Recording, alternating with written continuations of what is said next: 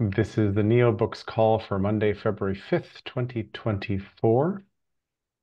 Um, turning on captions. And we're all set. How is everybody? Um, Californians, are you like wearing fins outside? Are you good? You're all right? Been pretty light over here. I'm in Palm Palm Springs area, and uh, we were getting some rain, but the the real uh, downpour is on the coastline. Yeah, uh, they were. April was in Santa Barbara for a talk last week, and uh, or week before last, and they're like major photos of flooding everywhere, and you know, yeah, crazy. I was expecting it to rain in San Diego. I think it's sprinkled a little bit, but it hasn't really started yet. Hasn't hit you. I think that the the wave made a U-turn and sort of turned back up and really slammed mm -hmm. into the coast above just above you. Something like that. It looked yeah. like a looked like a starry night painting. San Diego is up this evening. You are it's coming. Just oh great. It keeps shifting back. I you know, first I think it was Sunday and then Monday and then now Tuesday. Dave Witzel, what is the NOAA network? I don't think I've seen it either. This is something Brad deGraf is working on with oh. like Dave Waterbury and I don't know a few other folks in there. I'm still grokking it, but uh trying to map the people who are thinking about regeneration and then map them by bioregion. Uh-huh. Uh, and then they're using, I thought, some interesting tools. And they I think they've been scraping LinkedIn, so they have kind of a you know, it's like a rich enough database so you can kind of play with it. Um, What's it called, Dave? It's in the link in the chat there. Who knows? Or let me put it. I can put it. Yeah. In Who knows? Collaborative mapping of global regional expertise. Yeah, yeah. Global regeneration expertise. Sorry, I misread that. Okay. Um, we'll have to get these folks talking to Vincent. Yeah, I think maybe they are. I don't know. I'm always a little confused over who's talking to who, but uh um and then it's just, you know, because I've always wondered, it's like, you know, if you could if you could just get into the back end of LinkedIn, right? It seems like you could do so many amazing things with it, and you know, they just close you out of. But I've, this uh, like I've seen version. some people doing that. I think it might have been this call. Anyway, there was there was a, a, a few people doing a semi back end of LinkedIn thing. That's kind of interesting. I would love I would love a social graph for my LinkedIn network. Right. Well, and wouldn't you want to see it in the you know, like I would love to see the social graph of the regeneration network. Mm -hmm. Yeah. Right. Well, uh, and they could probably draw a bunch of it. It'd be great to have sublogic, you know, logical operators on the whole thing. Show me the people who are in OGM and the regeneration network and Bing. There you go. Well, That'd they don't want they don't want to let us do that. Well, they, uh, so LinkedIn zealously protects its social graph, doesn't let people crawl it, uh, does a whole bunch of stuff, but then they don't offer power tools themselves, which is like, hey, stupid, like you should do this. Why don't we offer them some power tools? That'd be good. And then that funds the OGM for the rest of forever. The rest of forever is nice. Yeah.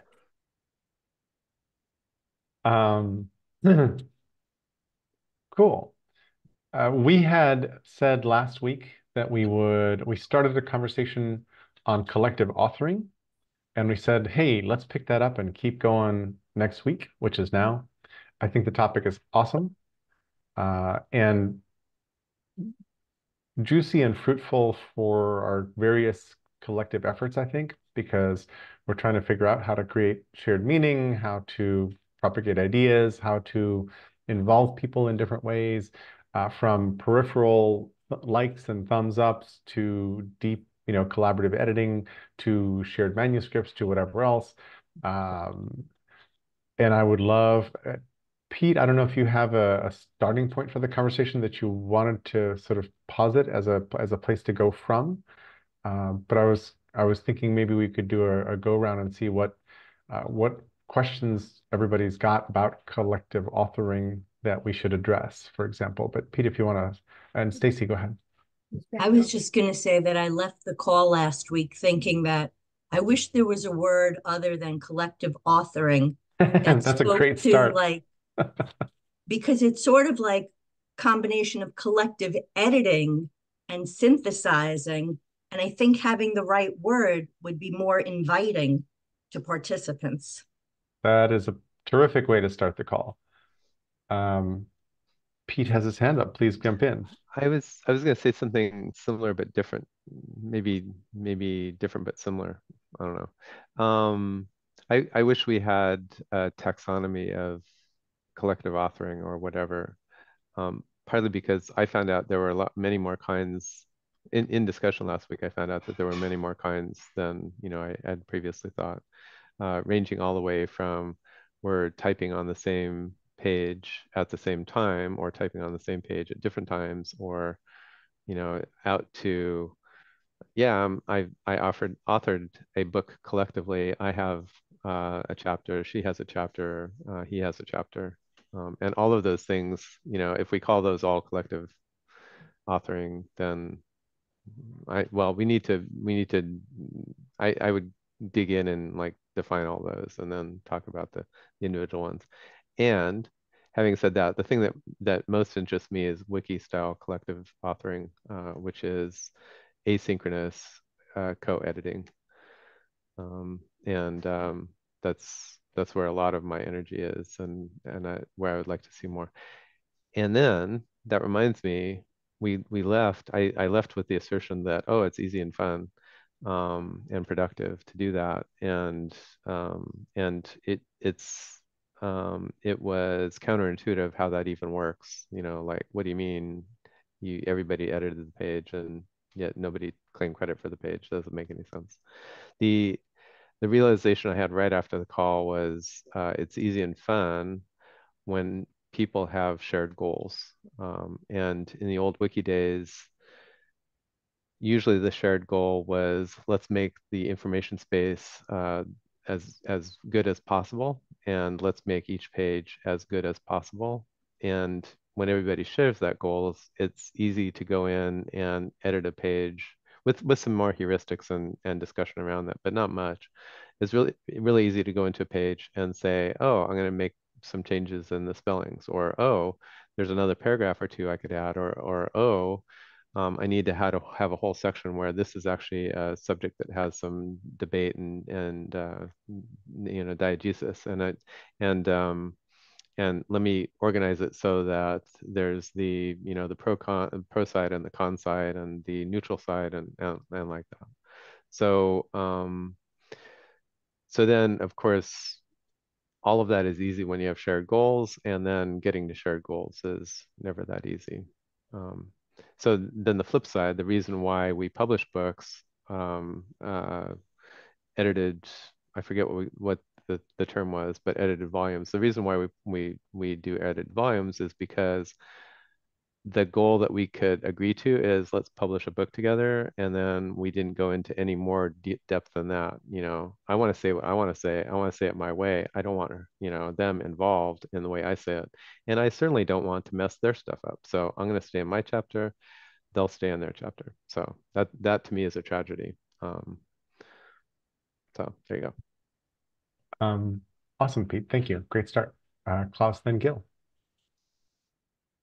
yeah, so I'm I'm taking a turn, not not not from from the my thinking or so, but maybe uh, the the way uh, I've been looking at this. Um, there is a shift in the way that AI is being deployed, um, because uh, particularly with ChatGPT Enterprise coming online, and the way and the way the way this works is that uh, companies are now developing a proprietary form of AI. And ChatGPT Enterprise allows that by uh, um, uh, protecting the um, intellectual property that companies are developing. So the shared the learning is not shared with the platform, but it is staying within that frame. So we we just uh, um, we just made contact with, uh, we, we, developed this networking meeting, and there are several medium-sized companies in, engaged here. There's, I mean, they are in the millions of revenue, but like uh, eight-digit maybe um, revenues, and so uh, these companies just don't have a lot of the resources they would need to really broaden out and uh, and connect uh, across platforms and exchange information efficiently. You know, and, and AI is uh, um, filling an, an, enormously important gap here.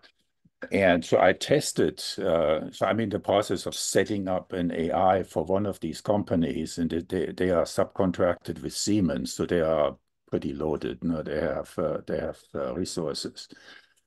And when I started uh, a training process, you know, for uh, that particular AI for this particular company, you realize that this AI really doesn't know doesn't know a thing when you first start.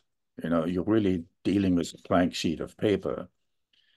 And then you have to fill in what you want the AI to know in order to deal with questions for that particular company within their frame of reference. You know, the things they're working on, the tools they need, uh, the relationships they have and need to build, and so on and so on. That is incredibly powerful. My son, you know, uh, my son works for Samsara. He's the head of talent branding for for Samsara. That's what they do. They are now getting into ChatGPT Enterprise, you know, and this is uh, a, I mean, they just passed a billion dollars in revenue. So that's a significant company. So that's how AI is being deployed. I look at NeoBooks as a training tool you know, for uh, specialized AI. So, so the information in volume one, for example, now coming up in volume two, really is an iteration of uh, things you need to know to really engage uh, in a in a meta level uh, perspective uh, within the food and agriculture you know, uh, uh, markets in the sector of the economy. So that's where I'm at. It, it's it's it's really what does AI need to know in order to address complex issues, you know, where you are asking for advice and for help to to reach across you know vast amounts of data and and bring it together. And so each time I'm asking a question in the AI that I have set up, the original AI that I used to develop the NeoBooks, I get, you know, I ask a question, I expect maybe 20% of what comes back. The rest, 80% is added perspectives that I wouldn't have thought of on my own, simply by the way the AI contextualizes the information. So, so that's sort of more um, the direction I've been taking. I think there is an amazing business opportunity in developing an AI and then make and then putting a user interface in front of it. You know, so you can have the AI uh, in your in your uh, fold. You put an interface into the front of it uh, that that uh, you know, gets you through a query and and through um, through uh, a customization process which then allows the use uh, for for your clients or for your you know, that you can develop. That's that's sort of my my thought process at this time. Um, thanks, Klaus. Just to connect that back to collective authoring, I I'm in, I'm sort of reading part of what you said as how do we collaborate with the AIs as part of the collective authoring participants in that sense, right? Right. Yeah, I mean, then the question is ownership, right? I mean, who really developed this thing and who owns it? And, uh, um, you know, because you are, I mean, this this has to be a commercial enterprise, right? I mean, it has to be a revenue generating enterprise because it, you will need resources, you will need to pay people and so on. But the potential is massive. You know, I mean, in the food business, for example, uh, there is this this thing right now where they're talking about low carbon intensity scores. So the biofuel industry is getting incentivized uh, to have uh, to have farmers uh, grow uh, feedstock for biofuel in ways that reduces their carbon intensity, and they developed a scoring system to do that. Um, and based on the, the, lowest possible score, I mean, they're starting maybe at 35, you know, whatever that score means. And then uh, this one guy saying, well, I was able to bring it down to minus five. And so he gets a premium for his crop. well, well, that's a fantastic idea. And this is the, and the government put money behind it. There's a bill, C, uh, E41, whatever it's called, uh, where the government is actually funding this, right? So that's already in place. It got snuck in without anybody knowing it. None of the NGOs even saw this coming. Well, why don't we take this one step further and develop a nutrient intensity score? Because the same core data can allow you to extrapolate nutrient density. Um, then you can communicate with consumers of saying, this has a nutrient level index A, B, C, or whatever. You know, so by doing that, it's a complete game changer because now the public is becoming aware, you know, that there is a link between soil health and nutrient density and nutrient health, which means gut health. So, but you need, you would need an AI supported tool because uh, you know uh, in order to make this affordable and cost effective for smaller farmers that's just one example one example in my space right in the uh, in the this sector of the economy there is so much opportunity in deploying AI in ways that it's just completely going to uh, be a game changer. Thanks, Klaus. Uh, as we go into this, a thing maybe we I could ask you to focus on is in what different ways would other participants in your ecosystem, in the conversations you're having and the things kind of that you want to do, how would they want to interact with the information you're providing? Just as readers, as audience, or as co-authors, as as commenters, as critics, as whatever else? Like what what are those what are those the types or qualities of those interactions? Because that will dictate a piece of, of what we're looking at on on how do we how do we author because to me a comment is is that's a, that's also authoring. You know, commenting on a work, even though it seems like it's outside the work, uh, is also uh, interesting. And and I think we're trying to facilitate your publishing a lot of things so that they look like a sub, you know, so that they're Substack pubs. You're doing uh, podcast sort of things. All those things are, are elements of, of, collectively authoring in some way. Uh, Gil? Yeah. Um, um, yes to the enormous potential. I wonder if anybody's asked the AIs about the ways we can use the use the AIs. Um, Klaus, to your point on soils, I was stunned to hear the Secretary of State talking about the importance of soils in global sustainability regeneration strategies. Kind of remarkable that it's penetrated to there. Uh, I just wanted to comment real quickly on the thing Pete said a while ago. I think it was Pete who said about a taxonomy of neo-bookie approaches. I know in the you know in the in the stack of projects that I'm looking at, there are very different levels of collaboration I'm looking for on different projects. Some are, you know, like everybody on the keyboard together, uh, writing in a document. Some are collect an anthology collecting pieces from different writers. Some are uh, having open public comments and editing revision uh, of, of, um, of books or chapters. And so I think that taxonomy would be really helpful, both for our workings, but also for the invitations we're making out to other people. That's all. Thanks, Gil. In the early days of groupware, there was a little two by two matrix that was synchronous, asynchronous, in-person, virtual. I think that those were the two matrices. Pete, you'll, does that ring a bell from back in the day? And everybody, you know, people used to sort of say, oh, okay, so forums and discussions are asynchronous over here and not in person, and then like real meetings are in person, et cetera. Uh, I think we need a more elaborate uh, more interesting, more useful version of something like that, probably. Um, other thoughts on the puzzle? More, more, more refined and fit for purpose, because our purpose here is different than what that was back in the day. Yeah, that was just a really simple attempt to differentiate between various kinds of groupware where nobody understood the term. It was yeah. just a, a, first cut at uh, at how do we do this. Um, Dave says uh, appropriate modularization. Yeah, yes, totally agree. Uh, we've talked about nuggetization. Then we had a side discussion about, hey, is the word nugget the right word? Uh, we have not replaced it quite yet. But but the whole idea of if we want people to participate a lot, how do we create modular, reusable uh, media, mm-hmm. right? That that in, that enhances that kind of participation. Because you know, if you publish a book, the way people participate in books is they write reviews and post those separately or they send the author a, a comment or a critique or a correction or whatever else. That's a, that's a really blunt, not very collaborative way of, of creating ideas and sharing ideas. Other thoughts?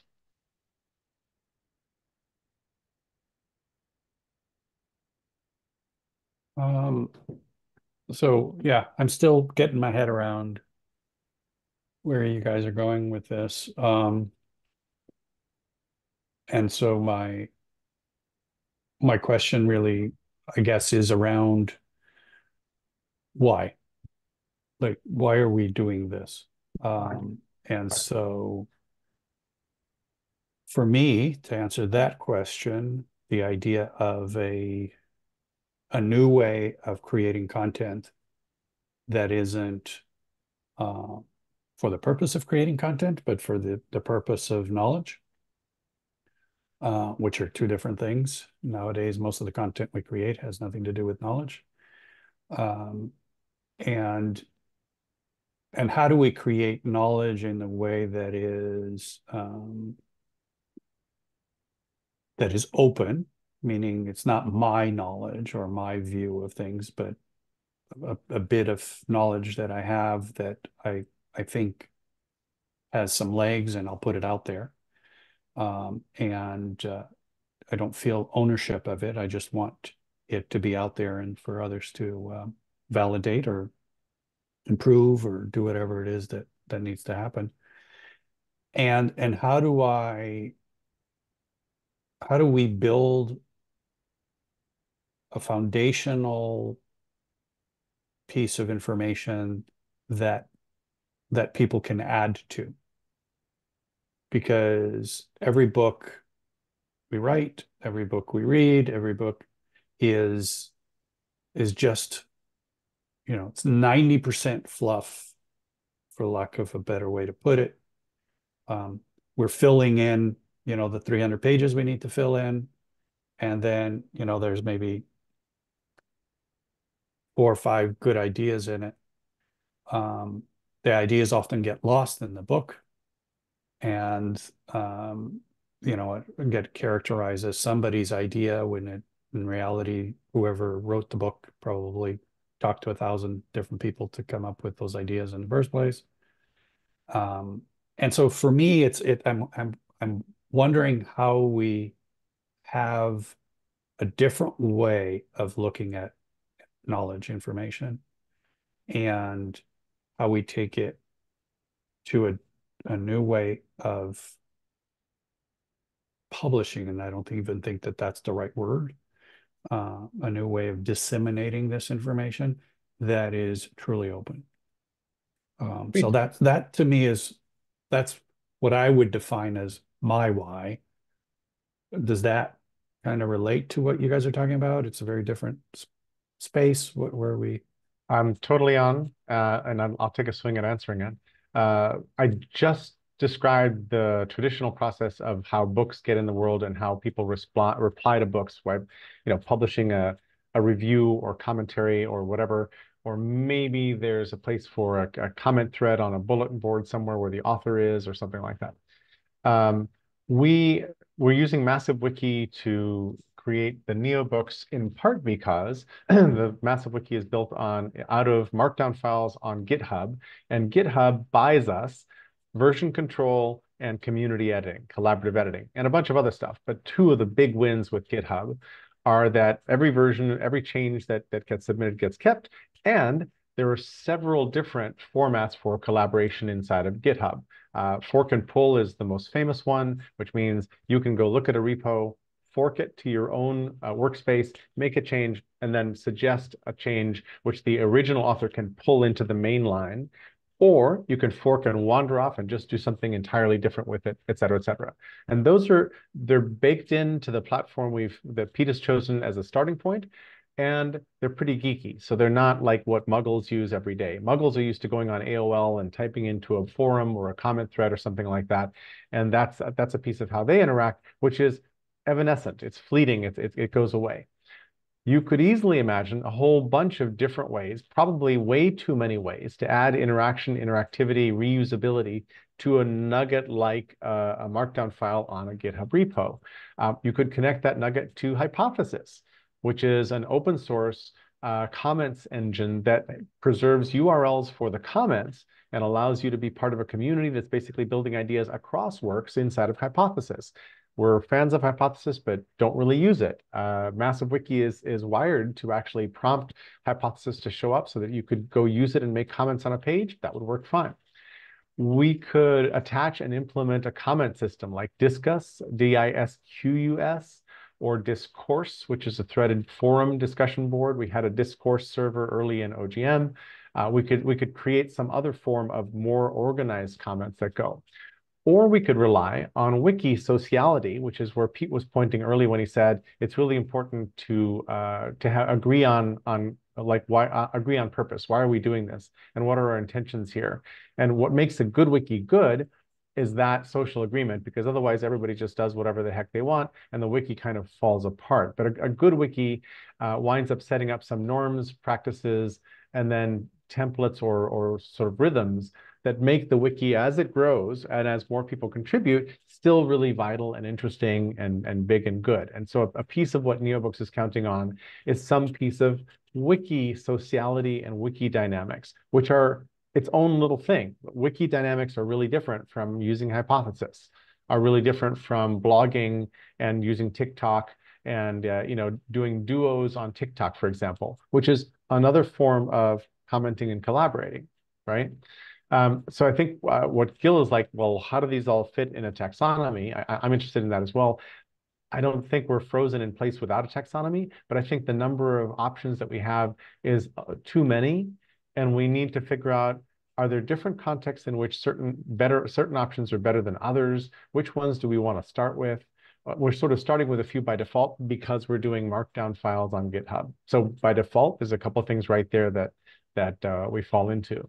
Um, but I think that's the we're doing this because we want to we want to create the thing you were saying on our last call, which is what's interesting here really is not the book, it's the the lively discussions in a community that keeps improving the resources that it has.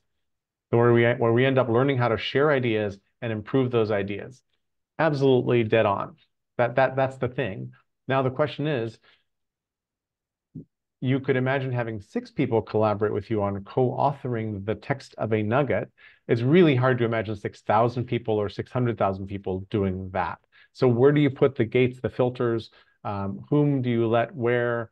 Uh, these are all just variables and it's all just software. Uh, there was a company called MixedInk. I'll put a link in the chat in a moment. Uh, there was a company called MixedInk that went away, but they had uh, a piece of software that would actually let a bunch of people collaboratively edit a document. And at the end, when, when you saw the finished document, you could trace which phrase came from which original author. So as everybody cut, copy pasted, if whatever they kept preserved the original owner of the original uh, writer of that little stretch of, of the document. Very interesting. It was like an idea posing as a company. They died pretty quickly, I think. But the idea was kind of cool. And I have not I have not seen anybody emulate them although you could back into that information from the GitHub version control, et cetera, et cetera. You could, you could, you know, reconstitute that feature if you thought that feature was really important to have. Um, there's also things like uh, Eric Eugene Kim created purple numbers, I think it was him, on wikis so that you could actually have sort of paragraph or sentence level addressability inside a wiki. Instead of saying this page, you could say this paragraph on this page even that's a really interesting affordance. So, sorry, riffing on a whole bunch of different things, but the plate is set richly for modes. It's it hasn't proven to be easy or contagious to do this well yet online, even though we're kind of all online doing something all the time. Instead, we're busy writing in uh, on email threads where every post just disappears into the bit bucket, basically, is my thought. So Sorry, Pete, I went on longer than I expected to, but I hope, Jose, that that um, helps flesh out why. And and every time you say something, it's very funny to me. You're like, gosh, I hope that sounds like it's orthogonal to what you guys are doing, but I hope it's sort of in the picture. And I'm like, no, no, no, you just described exactly our mission. Um, so uh, back to you in the booth, Pete, and then Rick. You're still muted. Thanks. Yep. Um, before I go, I wonder, Jose, does does that trigger anything what Jerry went through, or have any questions, or?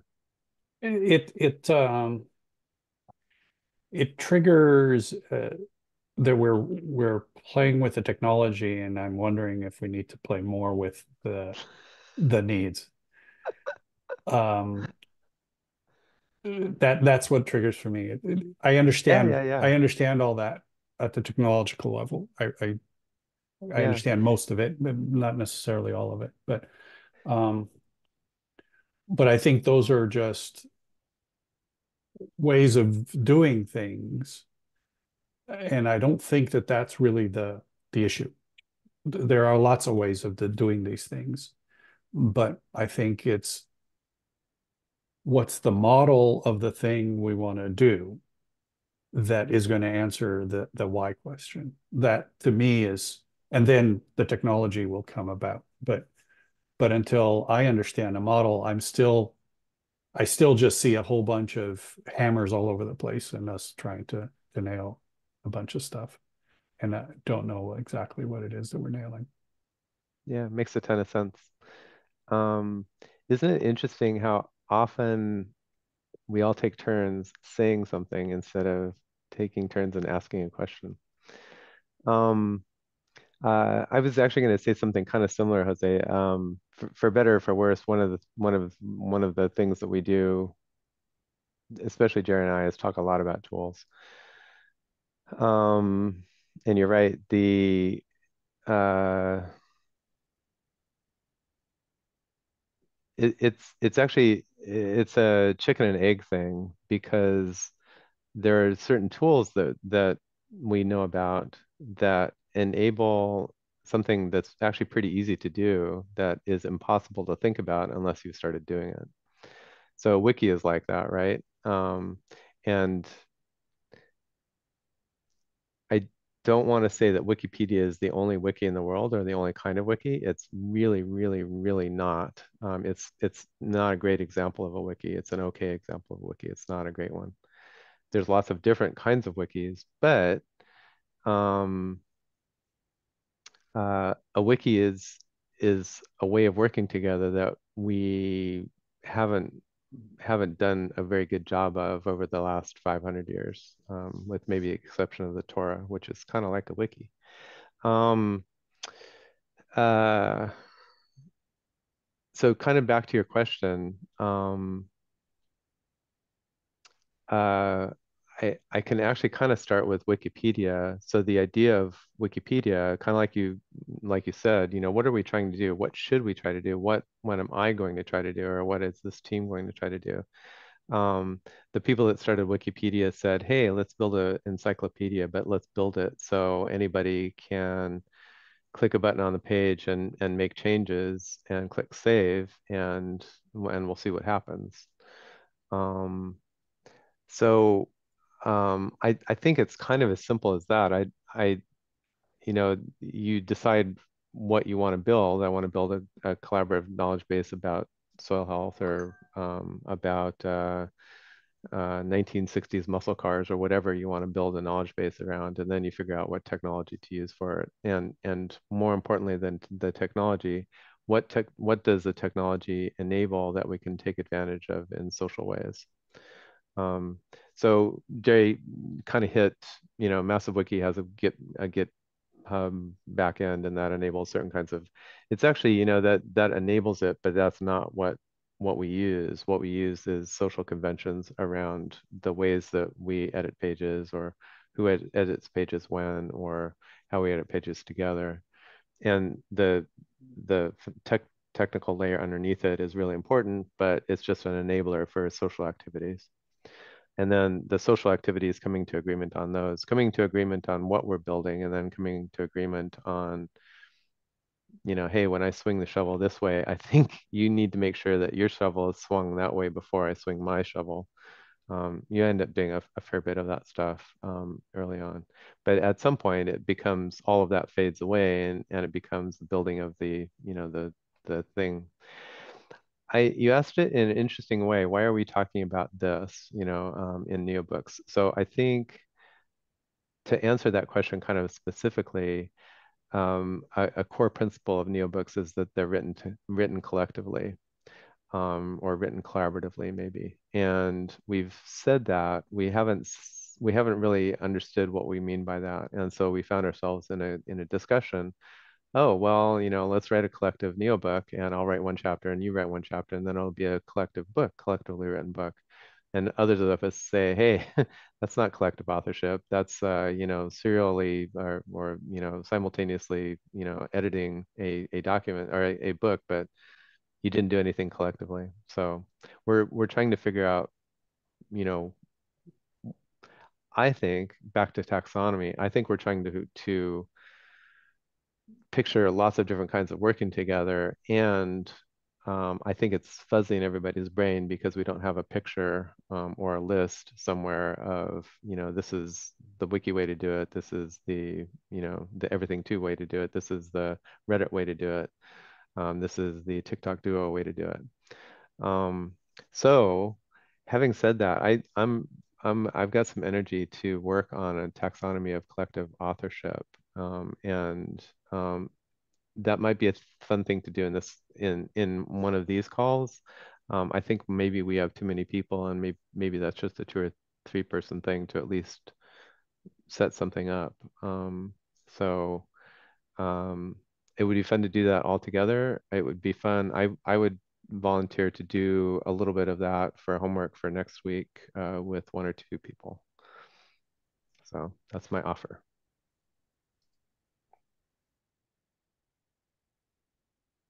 Um, thanks, Pete. Rick, off to you.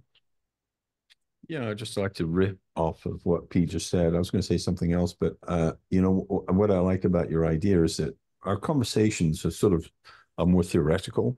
You know, there are different buckets. There's the tech bucket. There's the uh, the neo bucket, and then there's the actual whatever people are going to do.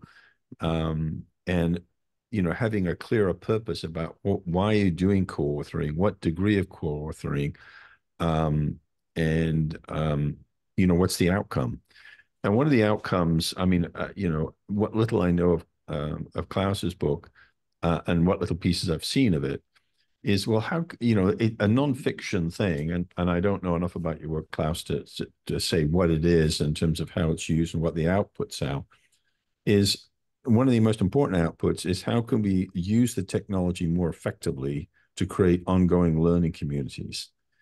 And you know going off and reading a book by yourself is one thing but if you're actually using it um, for creating learning communities then i think you would design them differently. And i'll just throw a few ideas out. Um, one is is where people are sharing their own personal stories about the work they're doing and that the purpose of the storytelling is to uh, engage other people and getting their reactions to the story what's told what they got out of it and does it inspire them to tell their story. So storytelling i think is incredibly powerful. Uh, another category would be more of a socratic one where you have something relatively brief and it's actually designed to set up uh, synchronous and asynchronous learning uh, you know, one of the things about the email threads is that I can't keep up with them. You know, I've got so many other things, and I pop in now and again. There's nothing. There's nothing aggregating in a way that it's easy to come back to. Um, and uh, you know, how can we use social media to actually use some of that huge wasted energy that people put into email threads and and seeing whether you can uh, have a better purpose. So, to me, it's a question of of how do you create more of a an ecological framework of learning, of transformational and collaborative learning. And, uh, you know, I think the technology is fantastic, what we can do with it. But what I like to push the needle on is we're doing a lot of talking about it rather than doing it. So I really appreciate Pete's offer of doing that. Uh, I'm quite happy to add my two cents to it um, in whatever way would be helpful for what you're, you're thinking of doing. But I, I would, uh, you know, if, if what I'd like to see happen is doing. So the doing would be whatever draft, you know, Pete is able to come up with without whatever players, you know, that we, if, if we have time, we should look, really read it in advance and give some thought to it beforehand so that we can then enrich whatever, what Pete is doing. And to me, that's sort of modeling different levels of co-authoring from a core team to an outer team, and then people who are just readers who see something before the thing is published, who can provide a, a, a reader's perspective of what's going on. So anyway, food for thought. Um, Rick, thank you. I just want to reply to you for a sec before going to Klaus. Uh, the reason, well, I think the reason we're having this slightly abstract conversation is that Pete and I, in one of our many conversations about how to do all this kind of stuff, uh, we're like, okay, okay, so we've got nuggets, and I, will just paste a nugget that exists in the world on the on the OGM wiki. There's a page called "Nuggets are really powerful." It exists in the world, and Pete and I were like, okay, how do we want? Which of these many ways do we want anybody to interact with this nugget? Because the sooner we solve that problem, the more consistently we will be able to do it and use it going forward. So we, we kind of need to, that's why this, that's why today's topic is collective authoring, is that we actually hit the pragmatic question of, here's a nugget, how do we want people, do, what permissions do we want, what tools do we want, whatever. We ran into that immediately. Um, so I'm sorry if this sounds abstract, but but it, we we we bumped into it like you like a ship running on a, a ground on a coral reef. It's like, oops, if we don't solve this, we don't get to sail the ship. Yeah, if I can just briefly, I, am I, I, I really enjoy the abstract and the theoretical, the meta level thinking that goes into things. So I I can get off on that. All I'm saying is is that I mean it's critically important. So when you operationalize it, it's having the desired outcomes, whatever you think they should be.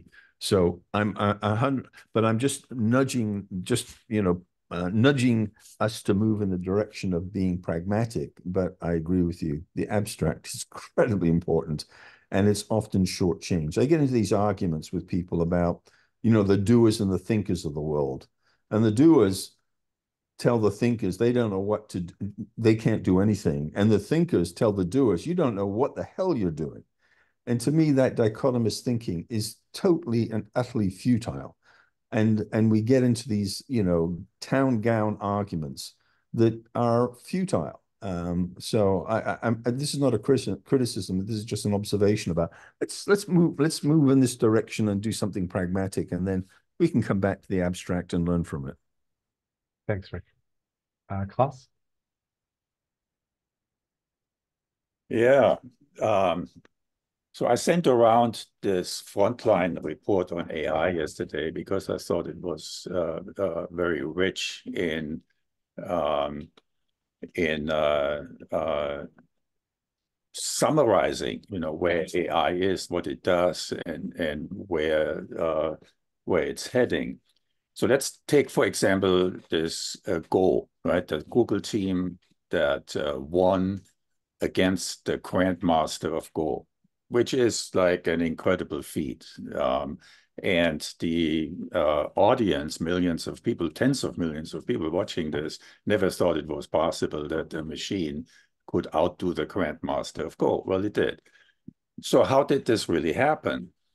You had a team that programmed the AI to know as much as it needs to know to accomplish this. Now, if you go to the same AI and ask it later on, uh, now, uh, how do you restore soil health? It has no idea, right? I mean, this this thing is highly specialized to beat uh, a Go master. It knows everything about Go. It knows nothing about anything else. So, so the so AI is very narrow, right? It's very specialized in what it it what it uh, what it knows. So when you are inserting teams to edit, to write, you know, to contextualize, where do you insert it? After AI has produced text or before guiding it to produce the best possible text? So my uh, understanding is that the initiative and the energy needs to be in the coding, in the programming, in the teaching, in the guiding process of AI. So what else do you need to know in order to come up with a better answer. So anytime I'm interacting with AI and it produces something that is not satisfactory or it just doesn't make sense or it just seems to miss something, my impetus then is to go back and say, what else can I profit you with? What other information can I give you to come up with a richer context and a richer answer, right? So then when you do that, you end up with a with a chatbot that is very specialized. So in my case, my chatbot is highly specialized in understanding food and agriculture in the context of evolution, in the context of climate change, in the context of food security, in the context of culture, cultural impact, and all of those things. So it can produce intelligent answers to questions. So, so, so, and and what companies are doing now, what where ChatGPT is going with this ChatGPT Enterprise, is it give it's giving a tool to companies to insert their knowledge base, you know, into a tool and then add on to this collectively as a team, add on to it, write the best possible uh, source, you know, feedstock for this AI to assist them then in executing or developing uh, strategy and outcomes and so on. So it's just, I think that's, it's just, you know, it, it's AI, AI forces us to think differently because at the end of the day, um, we can't compete with AI. And this is really also something that really hit me when I was watching this again, this frontline report. The Asians, you know, with their Taoist belief system, have no problem of giving up and handing over, saying, yeah, we can't be as, as smart as AI. It's just no way you can outthink AI, given you know the same level of source information, it will outperform you. So they are turning, so, so the Chinese and the Asians in general have fully embraced AI as a tool. They understand how it works because the, the, the example that they got out of this Go uh, exercise was pretty much, I need to teach this thing, you know, to, to think uh, in, in very broad context, and then it will give me outputs that I couldn't do on my own. So, so different way of thinking. Um, a couple thoughts you just said, Klaus. The documentary you shared with us um, is from 2019, and uh, AlphaZero and AlphaGo were 2017, 2016. And what's interesting is that you are completely accurate in saying that these were very narrow domains. They were playing the game of Go. Uh, and the, some of the big advances that have happened since then, the reason 2022 was such a big year is that they're ganging together broader thinking context, uh, a collection of experts cap capacities, they're actually able to run, you know, age, we don't have AGI yet. We don't have generalized intelligence, but boy, we made a big leap from the very, very narrow, narrowly capable tools from before. Um, also, a, a second interesting thing maybe, AlphaGo was taught with thousands of Go games because Go has been played for many, many centuries, and they had the best games of Go to teach it. AlphaZero was just given the rules of Go. And because Go is 19 by 19 lines with black and white stones, and here's how you capture territory, it played itself until it got way better than AlphaGo, the version that only played human games. That's really interesting. That simulation is not, I don't think, possible in the real world, unless we were to take some new Gen AI and just drop it into the world and say, here, go read, go read as much as you want to and get, you know, get smart by interacting or by interacting with, I, I, don't, I don't know what that would look like, but that little experiment is not doable in practical, broad, real world examples. But it means to me that these things are really capable of creativity in the sense of they don't have our own biases built in. And what we're doing with all these Gen AI large language models right now is we're feeding them all of human culture, which is full of biases. And then we're worried about, oh my gosh, the thing has biases in it. It's like, well, yeah, we gave it like what humans do. And we seem to be pretty biased. Anyway, all those things are. Yeah. My my point was, where do you insert a team to engage with AI? Before or after, right? So my argument here is you engage the team and this collective writing in the process of coding or, or training the AI. What comes out of it, right? To rewrite this, I wouldn't rewrite it. I would rewrite what I have taught the AI if it is unsatisfactory. So that's the that that's the point I was trying to make here. Okay, thank you. And and I think you've raised a really interesting question, which is what is the role of AI at any stage in this process? And you know, how do we engineer what we're doing kind of to fit that, to take advantage of that? Um, Gil Jose Rick. Yeah, this is maybe off topic, but I can't resist responding to Klaus. Uh, I think, Klaus, what you're speaking about highlights some of the real challenges in how we're thinking about AI. Um, and Jerry, you clarified some of that with the AlphaGo and AlphaZero and where, where whatever we call now square root of zero or something. Um, the tendency is to think about programming and uh, treating AIs as like a massively, you know, like like like a huge beyond imagination computation engine with instructions that it proceeds through.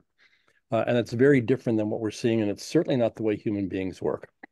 Uh, and I've been finding that in the guys I've been working with on building some AIs on my side, where I see that their tendency is to try to distill a set of rules of human interaction. Like, you know, what does Gil characteristically say to a client in such and such a kind of circum circumstance, which can get at something but doesn't get at the heart of it, and certainly not at what intelligence is. Uh, the Go master isn't just a master of the rules and 10,000 games of Go, but she also had breakfast that morning. And she heard a poem the night before. And she went to a concert the week before. And that affects her play uh, in a way that no kind of code can get at. Um, and even the um, the AlphaZero was simulating the whatever you know whatever the number of permutations that's possible there. Um, um, does that exhaust all possibilities for surprise and innovation and and the something else that humans do so far seems to be distinct and different than what anything we construct can do. Um, even you know even the AIs of now are you know, they're they're still, as far as I can tell, they're still stochastic parrots. They're very big and very sophisticated, and they produce what is what we around this house call simulated intelligence. We wouldn't call it artificial intelligence, but it produces something that feels like intelligence and is good enough for some purposes, um, but is different than what we would characterize as intelligence. So um, that said, I'm not sure what all that my comments to your comments and Klaus's provocation that started it off. I'm not quite clear what that has to do with the NeoBooks project. Thanks, Gil. Can anyone tell me? Um, I don't know. Stuart, by the way, is uh, in the at the Chinese embassy in San Francisco awaiting a visa. Hmm. That's why he's being quiet. He can he can chat in the chat, but uh, it's just listening in. Mm-hmm. So, see if I may just respond. The entire NeoBook project is based on GPT interaction, right? Oh. So, the, in the title it says written written with, you know, the, prompted and edited by ChatGPT 4.0. That's the whole baseline here. Mm-hmm. Okay. I, I, think that's your book, right, Klaus? Is the way to say that. Um, so, by the way, a, a thing that we've hit a couple times, and I want to say it real quick. I, I apologize, Jose and, and Rick. Uh, neobooks and how you write neobooks. I think, I, I think the the neobook definition doesn't strongly include it must be written collectively, or it must be written by one person, or it must be written by um, somebody talking with ChatGPT. I think that the NeoBook idea is kind of a general thing where there's nuggets and repurposing and things like that. And then there are ways to write NeoBooks.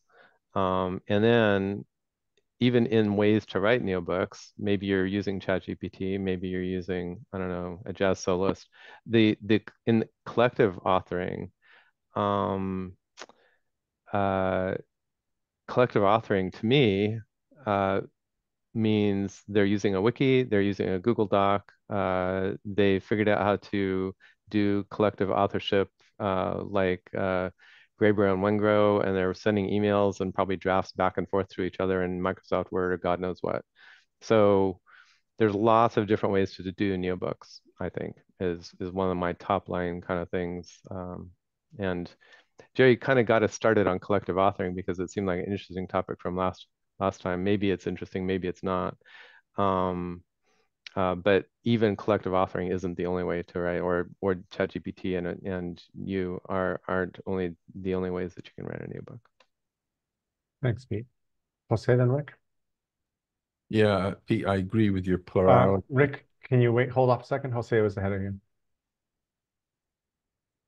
Um, no worries, Rick. Um, so at first, when I was listening to Klaus over the last couple of meetings, I I felt like are we having the same meeting because Klaus is uh, focused on on AI, and I must admit that today I I kind of um, flipped to to Klaus's camp a bit. Um, I'm wondering that if if um, what Klaus is bringing to the table is is actually quite interesting.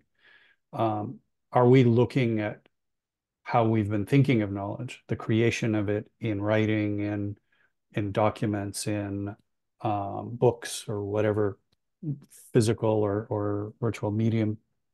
Um, is that in itself uh, a, a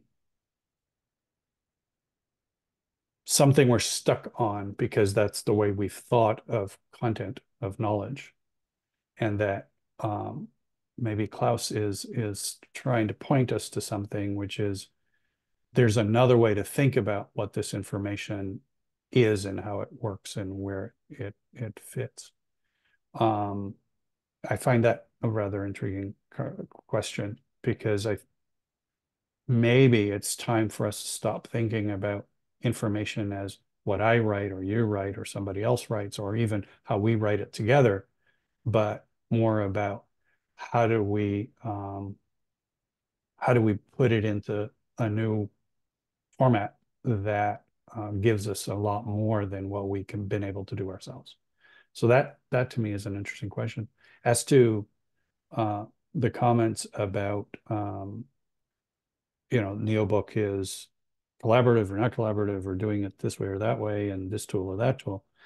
I think again we're talking about the the how, um, and I wonder if, for example, what comes to mind for me is is there a way to to look at a model of what we want to write and or create um, and is is that model for example starting with first principles. That what we do is we change the way we think about what we're creating at the informational level, not at the at the doing level. And and then work from there at the informational level. Um, and then think, okay, well, now how do we, with this informational level, how would we use the right tools to build it? Um, and what why is this informational level the one uh, uh, structure that the one that we want to use? So still playing with with those things because i think there's a bunch of pieces here that we're playing with that are rather interesting. No answers just questions. Thanks the same all right go ahead pete. Um, did rick get to go? Uh, Oh, yes, actually, Rick was next in queue and Gil is about to leave the call because he's got to go places. Uh, thanks. Rick, uh, go ahead if you want to. Yeah, that's fine. That's one thing about hiding your cameras. You don't know who, what turn you are. So that's the reason why I jumped in. Uh, the downside of using the hide feature. Uh, actually, yep. I'm interested in Gil's uh, before he leaves. And actually, um, and, and Klaus, actually, I, I had a dental appointment. This is sort of tangential, but relevant. I, I, was at the dentist this morning. While I was uh, there, I listened to a podcast uh, that was called um, "The Next Economy Now," and learned about uh, a woman by the name of Kate Taylor. Um, she and her husband have a foundation about uh, how to redesign banking for regenerative agriculture. And I learned from a colleague friend of mine who says the U USA is in a bit of a pickle because the number of farmers over 60 is quite significant who are retiring and young farmers can afford to buy the uh, the farms. So the, it, it's prime picking for the uh, you know the agro-industrial complex to sweep up these retiring farmers who who can't um, you know they can't get buyers for it. So I mean it comes back to food policy, but I found this uh, um, podcast absolutely fascinating uh, I just wanted to put that on there. And if it's old hat for you guys, that's fine, but it was certainly new for me. So, um, and I, I just a, a, final comment. I agree um, with you, uh.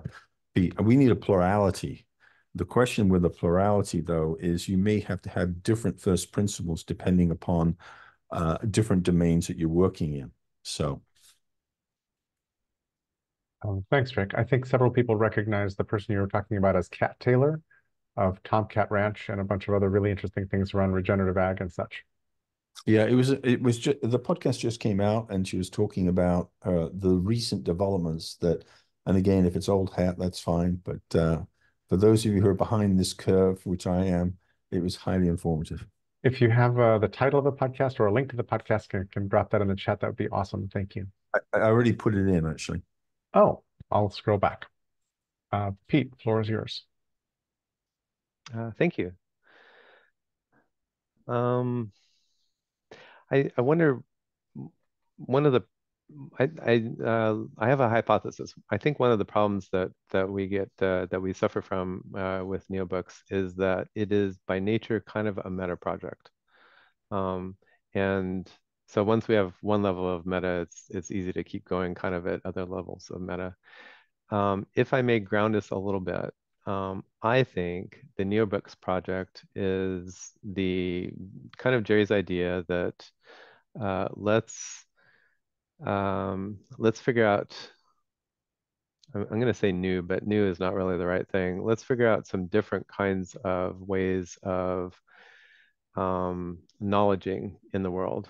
Uh, so for centuries, we've been using this thing called books, um, and maybe more recently magazines and novels and and fiction, nonfiction.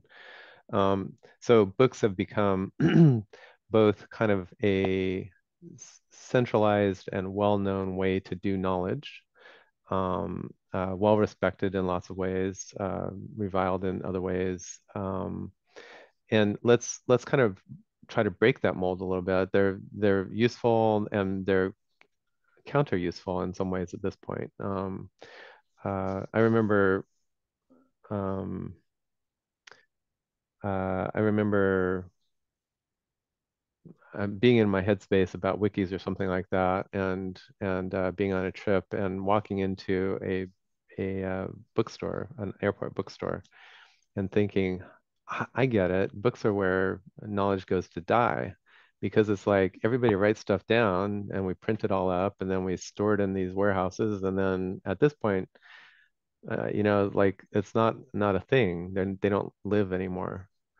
Um and i'm i'm over exaggerating a little but not too much um, so anyway, the idea of neobooks, uh, Jose, to pick up kind of where you were, um, the idea of neobooks has always been not to focus on the book part, but to focus maybe on the neo part um, and use book as a way to get some attention and to uh, talk a little bit about the gravitas around, you know, knowledge and information and things like that, but then free it from all of that with the neo part. And so you know, sometimes a book is, uh, I, I don't know that we've talked about it in this space, but maybe we have. Maybe sometimes the knowledge comes out in a song.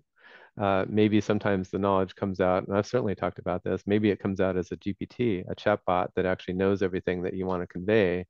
Um, and the main interface to your knowledge uh, is some people walk up to it and they they either type or they say, you know, um, tell me about soil health or tell me about uh, muscle cars. Uh, you know, why should I care about muscle cars?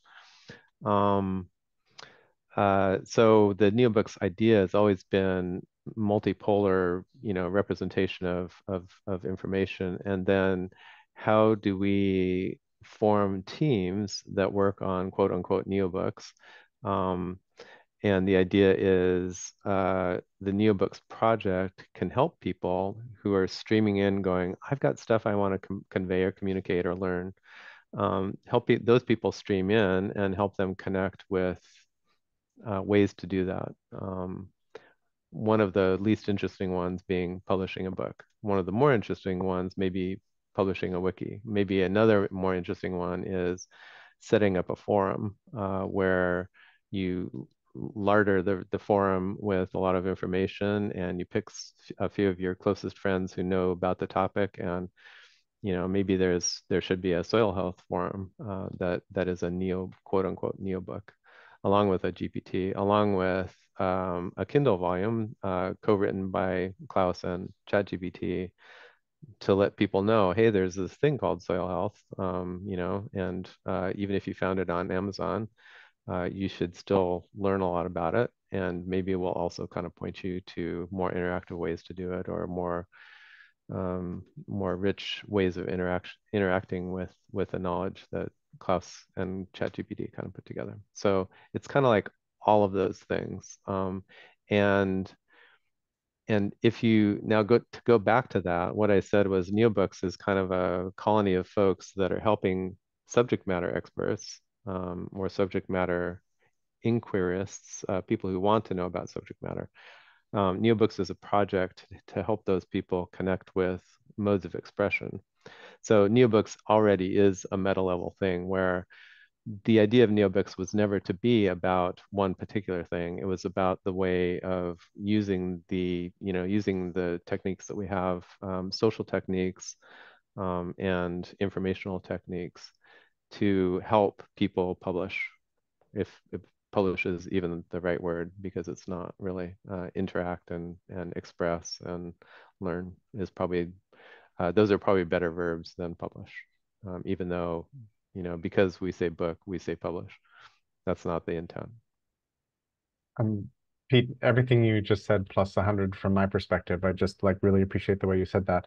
Uh, I'll add one thing, which is I don't think NeoBooks is meant to be about just learning and building knowledge together cooperatively and collaboratively. And we're talking here about how do we author collaboratively.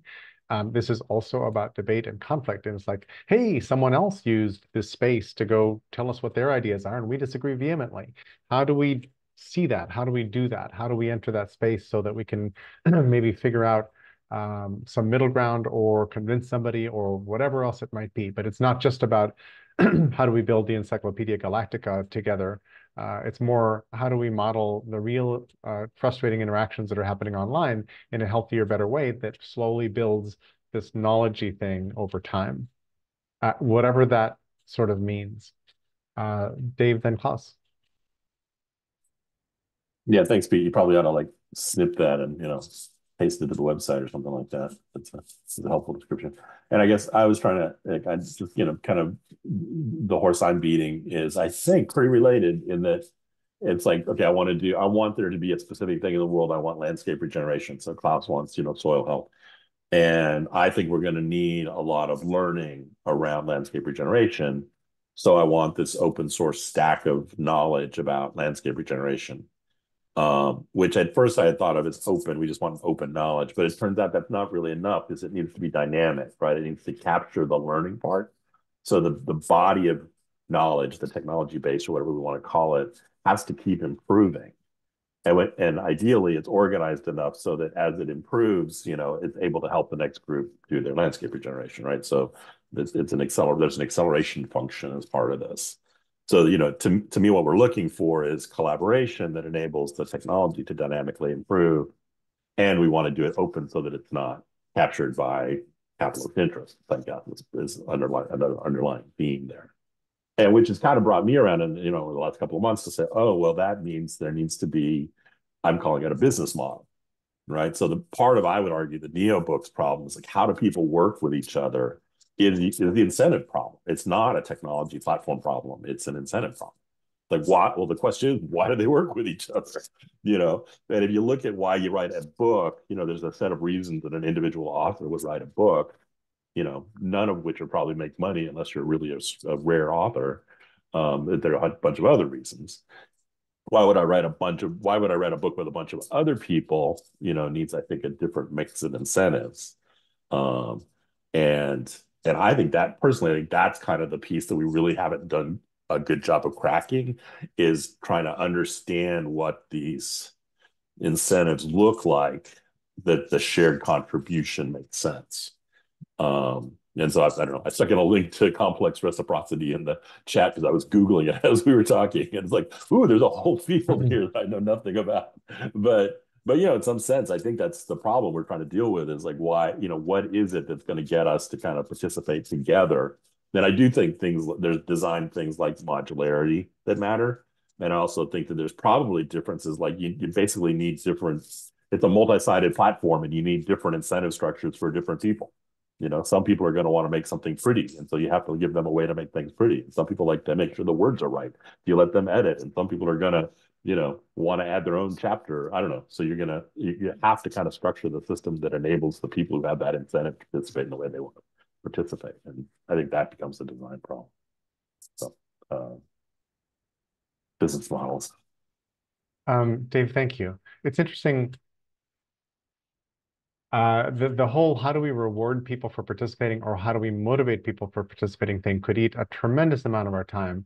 I will point out that there is no business model for Wikipedia, or maybe the Wikipedia is a public commons good where it's all donations fund the actual hardware or and some people's actually staff time and all that kind of thing but the vast the majority of the people who did those uh, edits or oxford commas or whatever's were not getting any money and didn't didn't expect or want any money no but they they were incented there was an incentive correct but so it wasn't monetary. Had, so i'm using business model as a shortcut for yeah.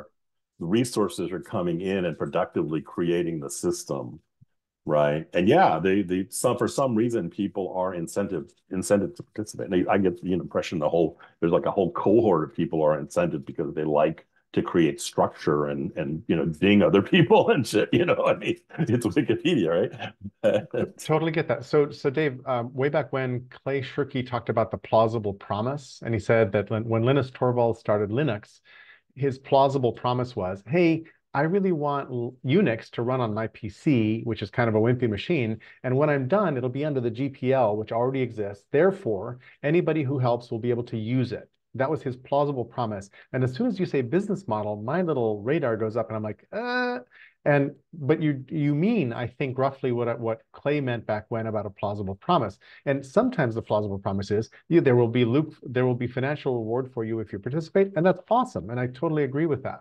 Maybe, but I think maybe business model is still not a bad term because the the if if Torvalds had finished writing Linux and thrown it over the wall and said, "Look, open Linux," and nobody had done anything else with it, it would have been open but not matter. What made it matter is its continuing dynamism, right? Which is because of the business model, right? When when IBM decided they could put a billion dollars into Linux and save money, that was a business model decision. Totally so agree. the plausible promise, I think, is where we've been stuck for the last 15 years, but it isn't enough. So we need something more than that to, to generate the ongoing dynamism. And so Wikipedia, I'd say, has captured that. I mean, I don't know what its growth curve looks like and stuff, but it has, it's sustainable and it, it keeps improving, I'd say. You know, Linux keeps improving. The foundation, if you look at it, has added, you know, hundreds of other packages, not the operating system, right? and and I don't know. Some of those must be um, must be surviving, and some must not. But I don't even know what that looks like. But anyway, I, I really do. You know, there's probably a better term than business model. I use it to be a little a little bit to be provocative, but I really think it's kind of true because it is that that creates the dynamism. Um, thank you, uh, Klaus. Then Pete. Yeah, one thing we don't want to lose track of is that this is a fast-moving field. Right? While we started this NeoBook project, how long ago? Less than a year ago, right? The the ground has shifted. Right? I mean, for, uh, uh, GPT 4.0 got released. Uh, then uh, OpenAI released GPTs. Now all of a sudden uh, you have thousands of GPTs popping up with specialized content. Um, and now comes GPT Enterprise, and you you wonder where where is this thing really going? And so, what OpenAI uh, is providing here is a tool set uh, that you can use to customize for your very specific type of business and for and to assist you in solving very specific issues you're dealing with in your business. So one of the one of the most important uh, aspects of this really is that the skill set to program a GPT is one of the is the hottest thing emerging on the labor market. Uh, if you can go to and, and assist a company to set up their GPT in ways that um, that pro that broadens you know, their knowledge base and that activates an AI capacity within their specific field, that is an amazing asset. And so, because I mean, I, I'm seeing it right now because I'm working with some companies, and I can within an hour. It's it's like uh, David. Within an hour, I could lay out a ground plan for you, you know, on how to capitalize on your project, and and how and give you a business plan. You know, and the the the there is also um, a commercialization evolving where you take a GPT, you develop it, and you put a, a user interface on for, at the front of it. Now you can take subscription services for your interface. You can charge based on time, based on membership, whatever. And uh, and you can capitalize on this. And this these are things that are happening as we speak. So then the question comes: so so you know um, how do you how do you swim with this? Because this is this is out and running. You know, and and as I always compare, like to compare it to when Excel spreadsheet came out, right? When Excel spreadsheet came out, at first the accounting profession was, oh my God, you know, I'm losing my job. Is is gonna this is gonna uh, know, get get us unemployed. And indeed, you know, the, the typical accounting work shifted dramatically, but then somebody discovered, heck, I can play a what if game with this thing. And it changed the nature of accounting. Uh, so now you have AI is the same thing. People are starting to figure out what you can do with this thing. And the first reaction was paralysis. Oh my God, our jobs are going away. And then all of a sudden you realize you can do things with this that are requiring an entirely different skill set. Uh, and if you embrace that skill set, you can go out and just be on top of hive again, right? So it, it just just uh, a, a, different way of thinking. And David, I, I think there's a snowball chance in hell you could compete with someone, you know, with with your project who is using AI. You couldn't. It would outperform you. It would outrace you in no time. Yeah, I, I, I mean, I you you may be right. I guess I'm assuming that AI is also a spreadsheet, right? I mean, so if you were to say to what you're if what you're saying to me is you can go to AI and tell me how to do landscape regeneration anywhere in the world, and the answer will pop out. I think I no, that's, bullshit. That's right? not what I'm saying. That's, that's not... what the technology needs to do. So that's what we need to have happen. So we'll use AI to get to that point, right? But we don't have the data that we need. We don't have the algorithms. They, they don't exist, right? But they will exist over the next 30, 40, 50 years, right? And AI will be embedded in there, it'll help with search and things like that. But what we want is a collaborative process of creating that, right? Which I think humanity is still going to participate in. So, I mean, I, I assume you're right in that, you know, we'll increasingly see AI as the front end to the body of knowledge that will be developed either by people or machines and that data will be used then on the ground to implement change that you know restores landscapes. But it's not a magical process that you could do now with chat with gpt-4 I mean, David, decades away. Anything you need to know about landscape and landscape rejuvenation is known.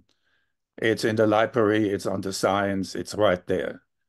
I mean uh, what is it that you would want to know that is not known? I mean give me an example uh, hydrological models of water supply in Playa Viva. And they are not known. And how they can be influenced. Yeah, nobody's written those. That's totally They don't known. exist. But but you but you know the science, you know the physics. No, that's being argued about too. Okay, I, I offer you a one hour work I mean, you're saying, no, I offer you don't. a one hour work session. I don't want it. But but you can tell yeah, you don't why, want why, you know, come on. Yeah. Hold on, hold on one second there's there's an interesting philosophical question that LLMs raise, which is, do LLMs obsolete note-taking, writing, uh, collaboration among humans and all that because the future holds we're just going this thing is going to be eating information faster than any human possibly could. It's going exactly. to know the answers better than any human possibly could. And we're just going to be interacting with this thing this this this conversational beast over time and that's it right? And i don't i don't buy that future and I think that pieces of that will show up, but I don't buy that future at this moment at all. And I'm trying to figure out how do we use AI extremely sagely in the process of, as humans, curating what we know? And what is the meeting ground of human curated knowledge with AI generated or curated knowledge? And how does that even work? But I don't buy that writing has been obsoleted. I, I saw a couple of, of posts early on. Hey, forget about note taking. This whole tools for thinking sector, it's screwed. LLMs have just destroyed human note taking because there's just no reason to continue taking notes. These AIs are going to know, know better everything. And I'm like, no, I, I, I don't, I'm not, I'm not drinking that Kool-Aid. Um, and, and I can, I, and I think that having a debate about that might be a thing we could do on a call here, except I just made a mistake picking collaborative authoring on this call as a topic. So I don't, I don't want to jump on that real quick, but, but, but it's a really legit, interesting question. And I'm, I'm very interested in what are the wisest ways of using these new AIs, which I think are phenomenal. Klaus, the reason I said that was 2019, this is now, is that they've really leaped forward. There have been a whole bunch of very interesting uh, advances, and there will be more because now we can even use the AI to improve the AI. It's crazy. Sing singularity, anyone? We haven't even said that word here. Anyway, that's right. Any, anyway, I wanted I wanted to just bubble up a little bit and say there's a philosophical question here that's important to our quest. Um, I'm very much on the part of how do humans author stuff together, occasionally using AI really well. But I'm not interested in in like having AI author my particular text. I've got a bunch of ideas I want to line up in a row and put into the world and see what happens. Um, Pete and Jose, and then we're about at time. Um, I have a lot to say about AI pro and con in other venues. Um, and for me, the other venues are places to talk about the the pros and cons. Um, uh, I will say uh, that we're not to the point where AIs have meaning or knowledge. AIs, the way the way I like to say it, and and then I always kind of contradict myself when I give somebody some advice. But the way I like to say it is uh, AIs are really good at slicing and dicing um, language. Lots of knowledge is expressed in language. So AIs by proxy are good at slicing and dicing, you know, language-based knowledge. Um, still in all, when you get something back from a chatbot, unless you read through it and ensure that it makes sense and ensure that it's meaningful to your audience, you just got a steaming pile of crap. Um, uh, so uh, um, Bill Anderson is has a I, I forget the the person's name, but he's got a ph philosopher that um, uh, he likes what she says about AI, and it's something like um, uh, AIs don't make meaning, people make meaning. The AI is, you know, the output of an AI doesn't mean anything. Um, it's until somebody's gone through it and said, I agree with everything, or I agree with 80% of this, I'm going to change, you know, 20% and add some stuff. Um, uh, so um, not so interested about AI discussion here, much more interested, like Jerry, kind of, I think, about uh, how do we collaborate and how do we up-level our sharing of, of information and knowledge and thought and and and I uh, I, I really love Jerry. You said something like sometimes it's one person um, uh, sharing stuff. It doesn't have to be every you know a, a collaboration. Um, I wanted to get back to Dave David where he said uh, business model, and then the, a couple of words after that was incentive, and so um, I kind of Dave, I kind of disagree with your need for going back to business model. I really liked when we ended up with an incentive model. Um, so this to come back to where I started actually this this call, uh, incentive models is how you drive shared goals. Um, so one incentive model is I work on this because I get paid by my boss. Another incentive model is I want everybody in the world to know about uh, 1963 muscle cars, and there's three other people in the world who will help me. So we have a shared incentive. Um, even out to Wikipedia, um, uh, Jerry, you're right. Wikipedia doesn't have a particular. It kind of does have the Wiki the Wikimedia Foundation has a business model. Wikipedia doesn't really have a business model, but it certainly has an incentive model. Um, there's lots of incentives to um, to create with Wikipedia, and that's the thing to look at. So um, when I, th I think when David says something like, or any of us say something like business model, if I'm going to keep translating that to incentive model in my brain, because then it takes out the, the weird money thing. and lets you look at other stuff like like David said. Um, some people like to beat pe other people up on Wikipedia, and that's their incentive. Um, uh, Hearts, Clubs, Diamonds, Spades, um, the um, the essay by Bartle. Um, uh, so uh, so thanks, David, for for leveling up from oh, all we have to do is come to a shared set of goals, and and really what we need to do is understand incentive models and work with different people who are incentivized by different things, um, sometimes by money, but often not. Um, and that's where we get that the ability to do shared goals. And the only thing I got to say there is I, I think they're often incented by money. So I mean, I feel like we yeah, can't write and, that and part off. Yes, yes, and, and, and, the success um, of something like Linux is a financial story, right? There, there is a I, financial I think, argument I think yes, for why I think Linux yes wins. and no. Your your points are well taken, and and the fact that IBM or something, it's it's funny when I I never want to disagree with you, David. Um, by the way, um, but uh, it's great that that big companies poured billions of dollars into Linux, but uh, there's a lot of open source that's not incentivized by money, and I think Linux didn't succeed because it it, it had money pouring in. It helped a lot, and it got in, in many more places. There's a, a, an opposite incentive, which a lot of open source gets taken advantage of because it saves somebody money. Um, so there's some like horrific stories where there's some critical piece of internet infrastructure that's maintained by one guy um, starving to death in Eastern Europe someplace. And all he wants is, you know, all he wants is to be able to eat and and sleep in a in a warm place and then he would be covered. But everybody else is like, well, I guess I will just use this for free. So there's the opposite side of that too. But there's a lot of I a lot of open source is just um, hey, if we share share alike, we get more out of it. Um, so there's as much of that energy and dynamism uh, in open source as there is, you know, money from corporate sponsors. So.